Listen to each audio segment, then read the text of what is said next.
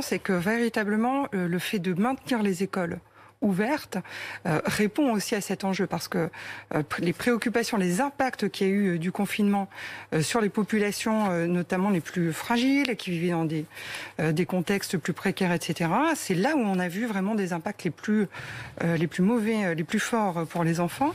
Et c'est aussi une des raisons pour lesquelles il a toujours été maintenu d'ouvrir les écoles. Donc ça, je voudrais quand même qu'on le rappelle et que ça reste quand même bien la tendance parce que ça n'a pas été comme ça dans tous les pays. On a vu plusieurs pays autour de nous qui ont refermé les écoles pendant plusieurs mois, avec toutes les conséquences, toutes les séquelles.